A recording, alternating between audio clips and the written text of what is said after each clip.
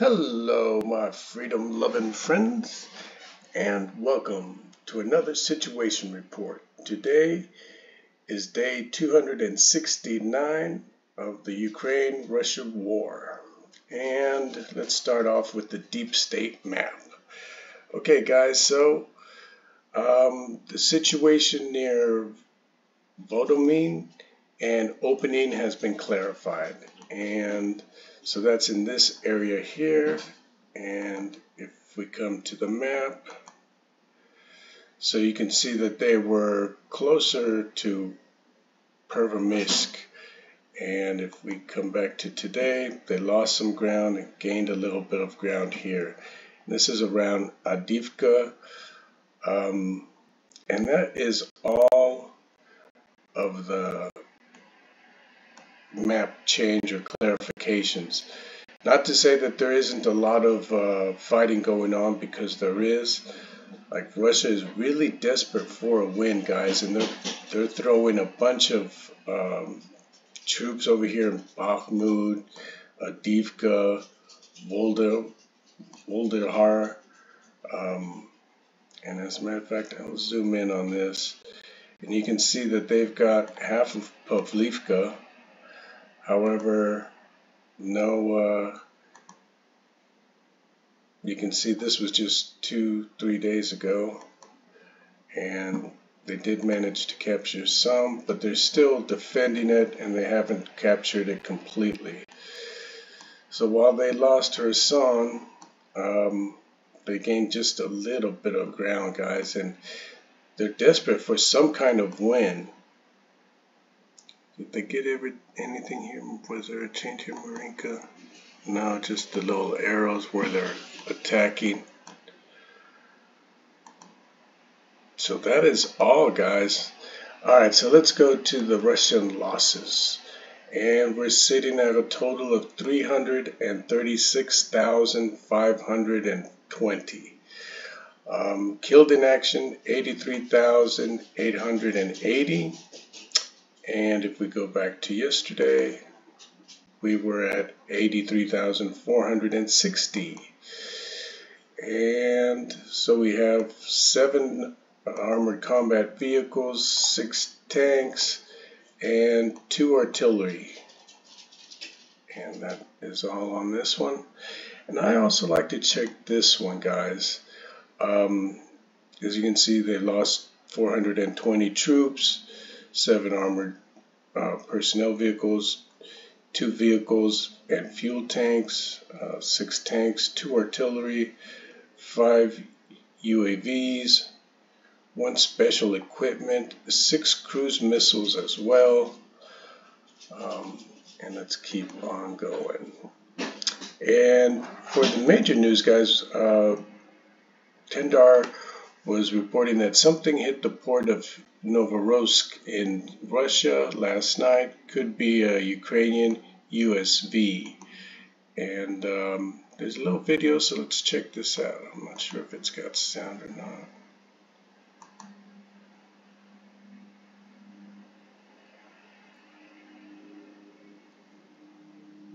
And I don't really see anything, but there's the explosion right in the middle. And we got a little bit more news on that. So. Um, this is the war zone. They report that uh, a possible drone boat attack on a Russian port. And video shows what is said to be a kamikaze drone boat attacking a port inside Russian territory. And um, unconfirmed footage that is claimed to be Ukrainian kamikaze drone attack on Sheskharis harbor in Russia's Black Sea port of Novorossiysk has been published online by Russian media outlets. And the video appears to be from a closed circuit television camera that is trained on the harbor over the road. And that's the same video that I just showed you guys. Um, no sound or anything like that. So it looks like it, it was an unmanned boat suicide. and then we've got uh, this is a major happening today.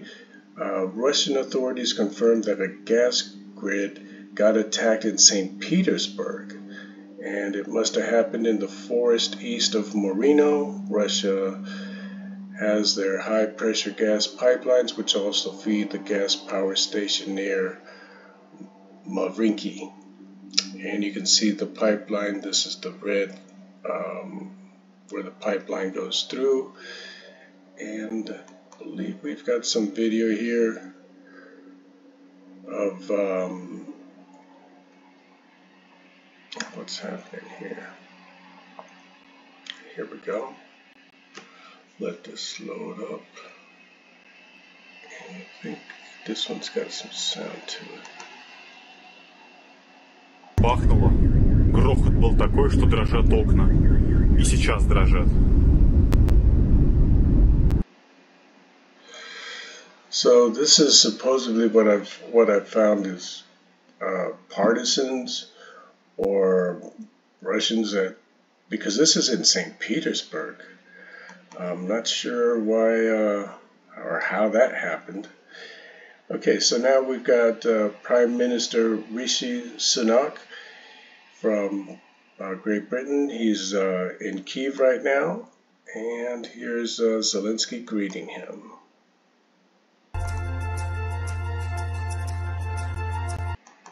Might be copyrighted music, better not to play that. Uh, this is pretty ballsy, guys. You know, when you've got the Prime Minister um, coming to Kiev, and why I say that is because you know, sadly, my president, Joe Biden, he hasn't gone to Kiev. So I'd really uh, like to see him go there. So, President Biden, if you're watching this, please go visit uh, Vladimir Zelensky in Kiev. That would look really nice. Look how you get to make a nice little video. And so they, they went there today and they announced another round of uh, of aid. So the UK will provide Ukraine with 125 anti-aircraft guns and special equipment to fight Iranian UAVs. And here you can see these gentlemen here, and it's a total of 50 million pounds, which is about 60 million US dollars. Um, Right on. Thanks a lot, guys. So that was really nice. And then we've got Newsweek reporting uh, Russians fleeing Crimea amid, amid fears of Ukrainian advance. Um, this was pretty interesting, guys. So let's see here. Russians are fleeing Crimea among fears that Ukrainians will soon move to recapture the region that Vladimir Putin illegally annexed in 2014, according to local media reports. And uh, just says that they're really in fear, guys. This is really interesting. And they're moving out. And so, guys, I wanted to show you what uh, what Ukraine is looking like now that it's snowing and got a couple of these new videos. Uh, internet is really slow right now. But here's a pair of Ukrainian T-64 tanks driving in the snow. Boy, I wonder if this will load up. I should just move on. Got a couple of more videos that are even better than that. Okay, this is a Ukrainian BTR-4 engaging Russian positions early this morning. This was uh, this morning is yesterday for us. And let's check this out. I know we got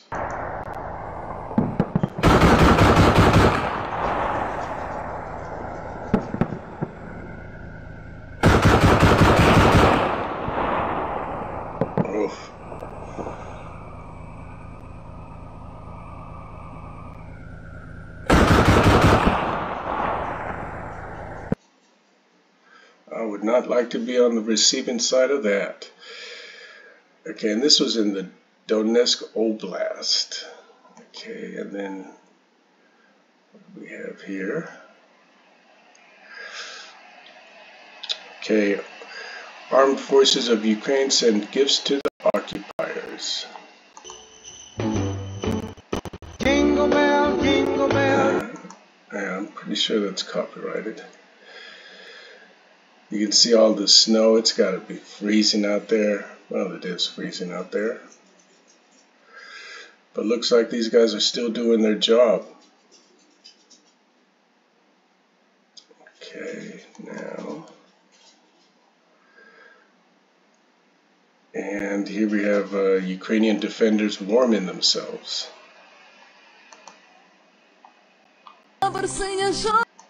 Yeah, copyrighted music. You can see them all sitting around the fire. It is cold out there, freezing and snowing. They look like they're pretty warm though, right? All the camel camouflage matches. And let's keep on going. This was an interesting report here um, from Ukrinform. Defense Ministry predicts Ukrainian forces will be back in Crimea by the end of December. And uh, Ukraine's defense forces could be back in Crimea by the end of December. And the war with Russia will be over in the spring of 2023. So that, I'm really hoping so, guys. I, don't, I hope you guys uh, really want an end to this war as well. Um, this is a brand new guys this is a brand new youtube channel that i made. I got into this uh, kind of late. And uh, if you would please give me a like and subscribe to the channel. It would really help me out. And hopefully i can put an end to it in the spring of 2023 like i really hope this war ends. And so uh, deputy minister of defense ukraine vladimir havrylov expressed such an opinion in an interview with Sky News. Uh, Ukrainian forces could be back in Crimea by the end of December, and the entire war with Russia will be over by the spring. So let's hope so. I really want this war to be over. And boy, I wanted to show you guys this. Um, Omsik Mobiks reviewing a sleeping tent that is in a disastrous condition. As we can understand from the video, they are meant to be moving into these tents and the terrible mess was left behind by the previous shift. So this is really ugly, guys. Um, I want to show you this. Like they have no uh, pride in where they're staying. Like these are mobilized guys that just uh, they don't want to be there, and you can tell. And so let's watch this. Следующая палатка, печки. Все сломано. Срача немерен. Все разломано, все кровати сломаны, воняет мочой. Beds are broken. I mean, you can just see it. It's just a mess. And he's going through it, uh, saying all the beds are broken. Um, they don't pick up after themselves.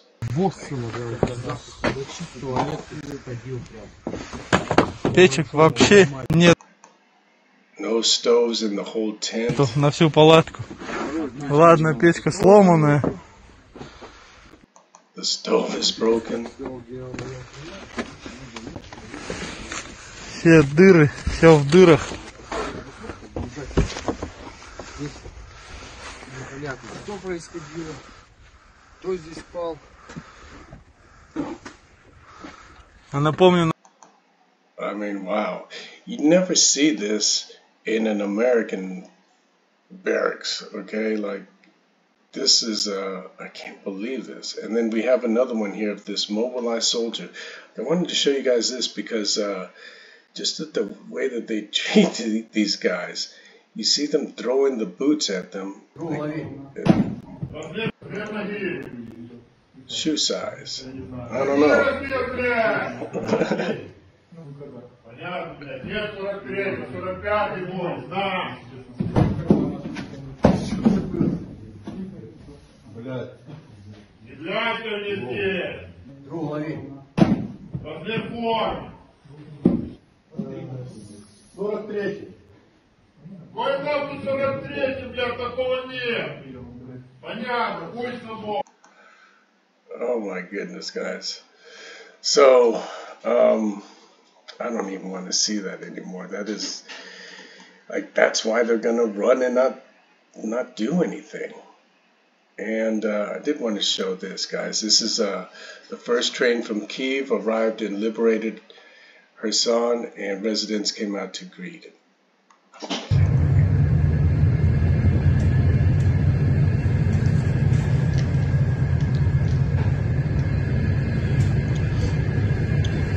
You can see the train is painted. Looks really nice.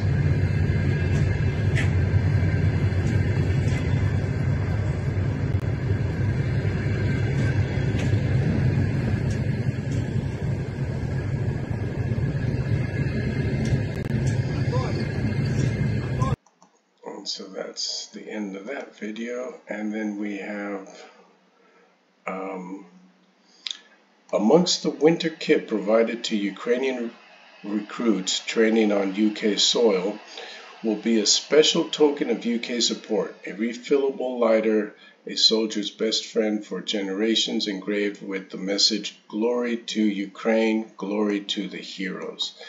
And I did want to show this. This is a nice Zippo lighter.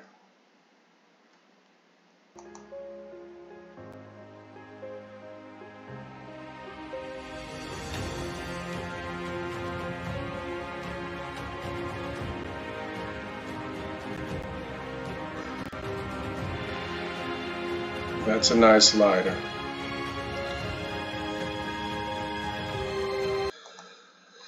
And so, guys, it, it was a slow day today. So, um, I just want to thank you for spending your time with me. Like, time is the most valuable product, precious product that we all have.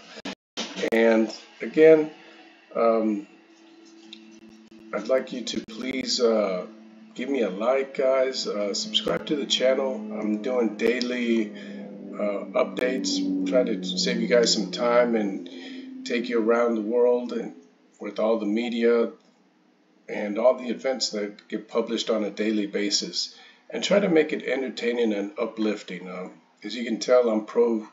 I'm pro Ukrainian, guys. Um, you know, freedom. I'm a freedom loving man and I believe that we should all be free.